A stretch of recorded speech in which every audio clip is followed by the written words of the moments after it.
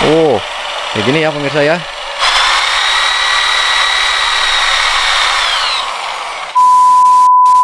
Di video kali ini saya kembali lagi akan unboxing sebuah produk keren nih pemirsa. Ini adalah sebuah mesin poles Polisher Orbital 5 in ya dari HL nih pemirsa. Wih keren ya. Ini kurang lebih penampakannya itu kayak begini nih. Warnanya itu biru lalu e, berbalut dengan warna hitam. Wih mantap ya, keren sekali. E, packagingnya kurang lebih begini ya. Di bagian depan ini ada gambar begini, ada tulisan dan ada logo-logonya. Kemudian ada keterangan medsosnya juga nih. Tuh ada mesin HL, kemudian Instagramnya mesin HL, YouTube-nya juga ada ya. Bisa kalian cek di sini ya. Oke, di bagian depannya kayak gini nih ya. Kemudian di bagian sampingnya ini, wah ini mohon maaf nih, agak sedikit throwback ya. Jadi ada kesalahan teknis pada saat ngebongkar dari packaging kayunya. di sini ada keterangan juga nih, tuh. Bla bla bla bla bisa dibaca lah ya.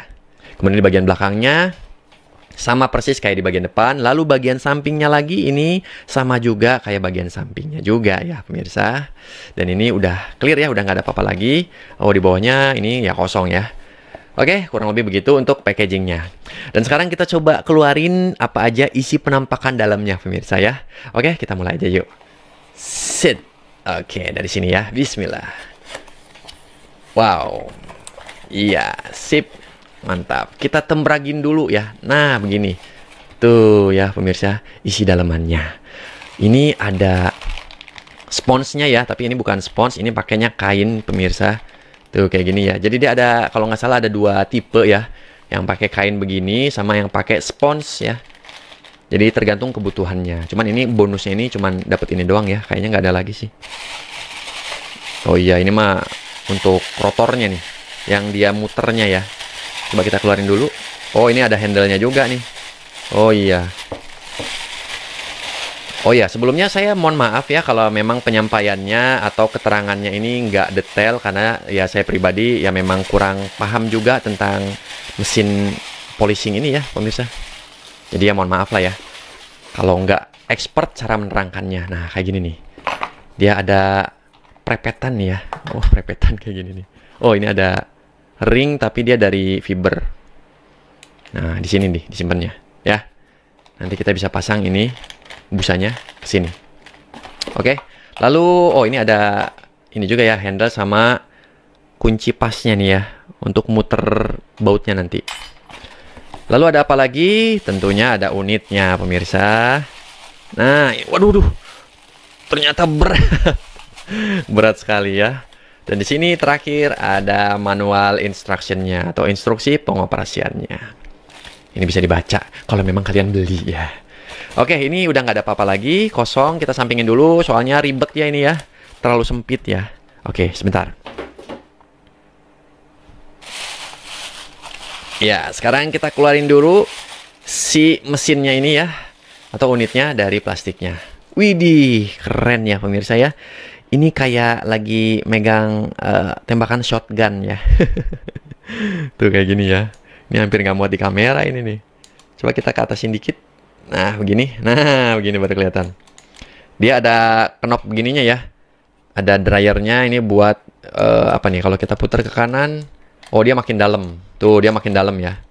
Kalau kita putar ke kiri, dia nah segini. Tentunya ini menentukan putarannya nanti pemirsa ya. Jadi pada saat kalau dia lebih dalam ini biasanya lebih ngebut ya, lebih cepet. Lalu di sini ada oh, dia buat kuncinya. Jadi nggak mesti ditekan terus begini, kita bisa kunci begini. Nah, dia jalan terus nanti. Oh, begitu ya. Nah, ini kita bisa pasang di sini ya untuk pegangannya atau handle-nya. Oh, cuman ini sepertinya ada anomali nih, ada sedikit yang kurang sempurna. Dia agak miring kayaknya. Agak miring nih ya. Jadi kita bisa pasang di sini. Coba kita cek dulu. Ini kayaknya miring nih. Soalnya putarannya ini nggak nggak ini ya. Oh iya bener ya. Tuh dia miring ya. Waduh.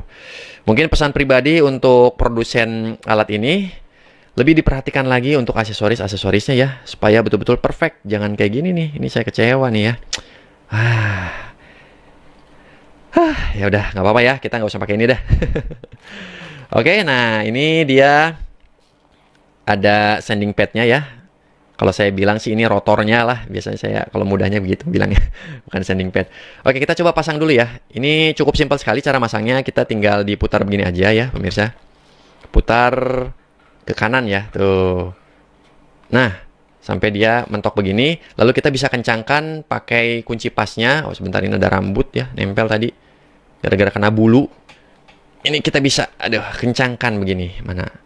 Jadi ini kita masukin begini, di situ ada bautnya kita bisa tahan begini, kita putar ya. Kita putar ke arah kanan. Jadi kayak gini. Ini kita pegang, ini kita putar. Nah, cukup begitu. Ini udah cukup kuat ya. Kayak gini ya. Nanti kita bisa pencet, oh, kita bisa colok dulu, lalu kita pencet, nanti dia muter. Oke, nah kita coba langsung pasang aja ininya. Apa namanya? Uh, spons atau busanya ya, atau bukan busa ini apa? Uh, kain ya.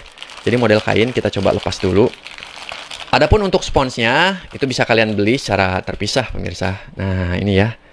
Kalau ini sistemnya tinggal dimasukin gini aja ya, masukin. Kalau spons itu biasanya tinggal ditempel di sini aja nih, di sininya ya. Oke, sebentar ya, kita coba masukin dulu.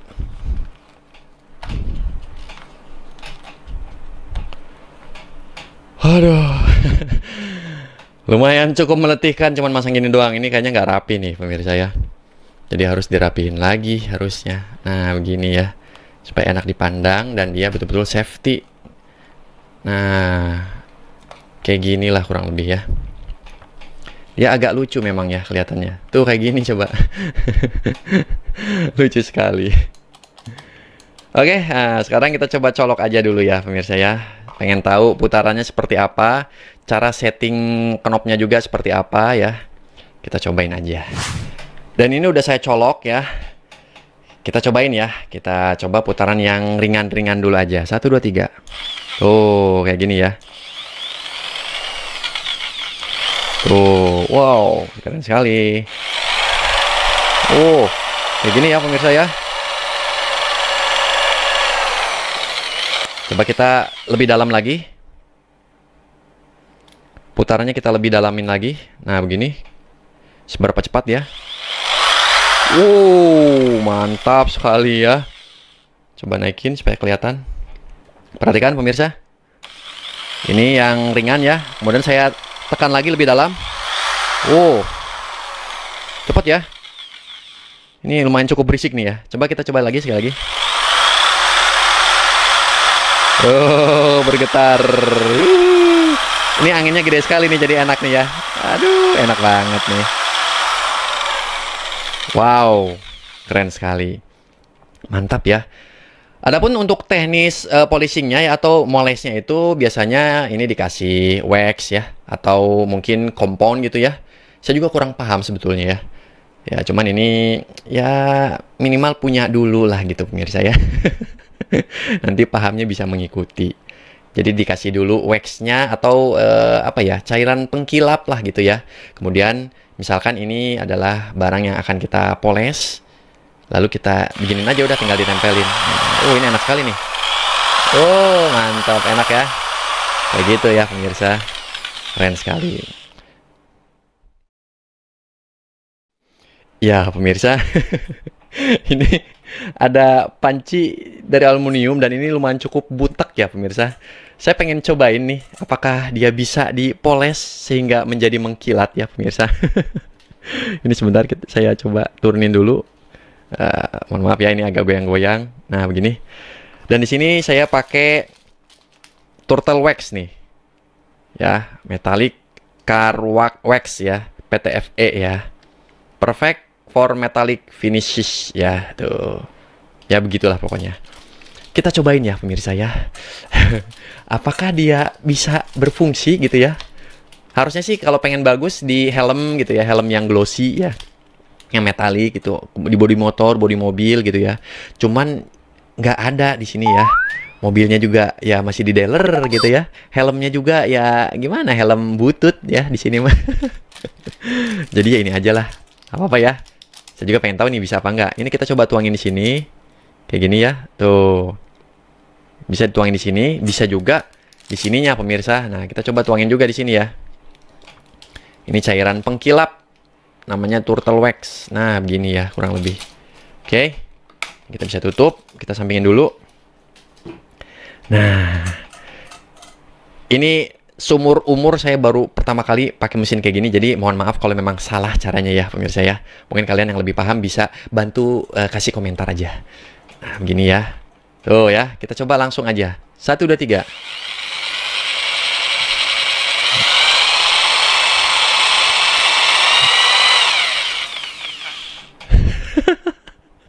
Ini emang bahannya kayak begini ya, dia nggak akan bisa mengkilat kayaknya. Coba sekali lagi.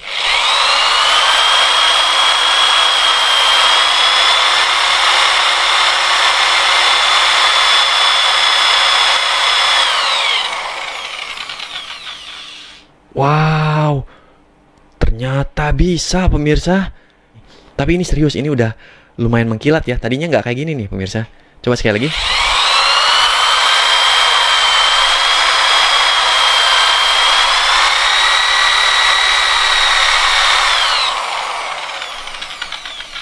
Wow, mengkilat. Mantap ya. Keren juga nih ya. Tuh, dia jadi hijau-hijau begini ya. Lagi, sekali lagi. Oh, ini udah mau ngebuka. Eh, enggak sih.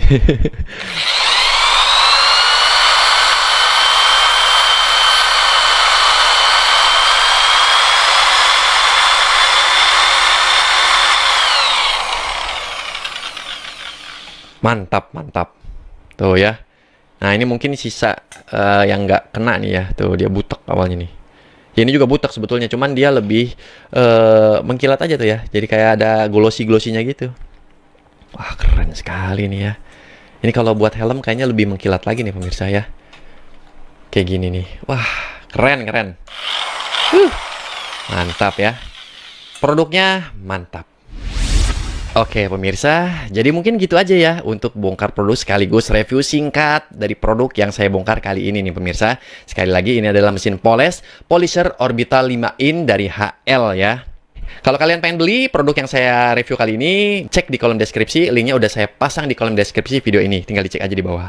Dan sampai ketemu lagi di video bongkar produk selanjutnya, masih dengan Dika di channel Dunia Bongkar. Bye-bye.